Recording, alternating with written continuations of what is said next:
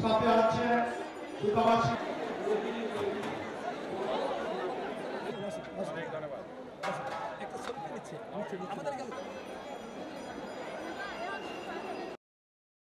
বাংলাদেশের জনগণ ধর্মনিরপেক্ষতা ও বহুমাত্রিক সাংস্কৃতিক পরিচিতির পরিচিতির জন্যে যুদ্ধ করেছিলেন।